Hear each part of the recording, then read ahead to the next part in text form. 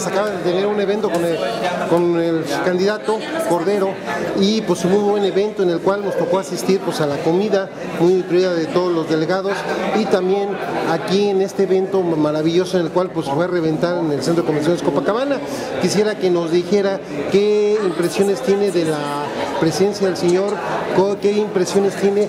de lo que dijo y de la simpatía a su, capital político. Bueno, evidentemente Ernesto Correro es un hombre preparado, es un agente de las más valiosas del partido, por eso ha decidido participar como precandidato ahora y después candidato por el apoyo de los panistas y creo que es la mejor opción que puede tener el panismo de, de México, el panismo, a efecto de refrendar la presencia de la República. Por eso lo apoyamos, estamos con él, es un hombre que trae toda la capacidad y la experiencia ya en funciones de gobierno en las dos secretarías que ha estado y creo que lo ha hecho perfectamente bien y cuenta además con el apoyo de los panistas y creo que el reconocimiento del presidente Felipe Calderón que es fundamental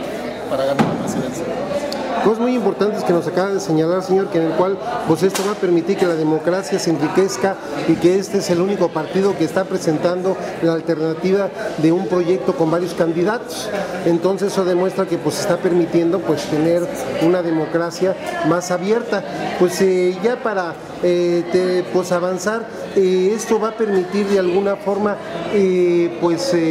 combatir en el discurso, no solamente en la realidad, en caso que él sea elegido candidato en la presidencia, seguir con la política económica, seguir con la combatiendo la criminalidad, seguir con el crecimiento del país. Hay una cosa, a nivel internacional, mundial, se ha hecho reconocimiento que el presidente Calderón tiene un, plan económico que, aunque todos los países están en crisis, México pienso que es estable.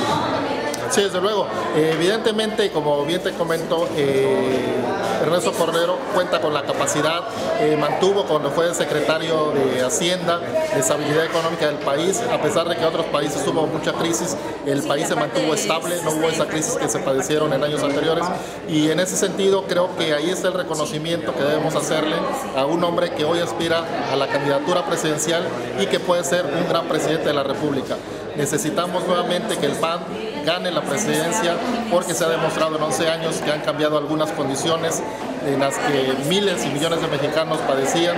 y se han dado algunas situaciones de bienestar social con los gobiernos panistas cosas muy importante. Señor, por último, pues algún mensaje para redes, no solamente televisión chilpancingo, sino para todo lo que es Europa, Estados Unidos y Canadá, que las redes son una explosión tremenda, arriba de un millón de gentes. Algún mensaje de Navidad, Año Nuevo y del trabajo que estoy como delegado, eh, pues viene haciendo muy importante. Sí, muchas gracias. Bueno, estamos iniciando año, evidentemente debemos eh, felicitar a todas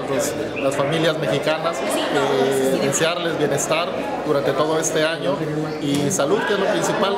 y en ese sentido, eh, el mensaje a los panistas es que no nos equivoquemos en la elección del candidato, que necesitamos un candidato fuerte y este considero que es Ernesto Cordero. Muy importante, señor, lo que nos acaba de decir. Voy a por último su nombre y cargo para gente que no ve fuera. Bueno, en estos momentos eh, participo como militante activo del Partido Acción Nacional en Acapulco, Vuelta Cuba García, servidor.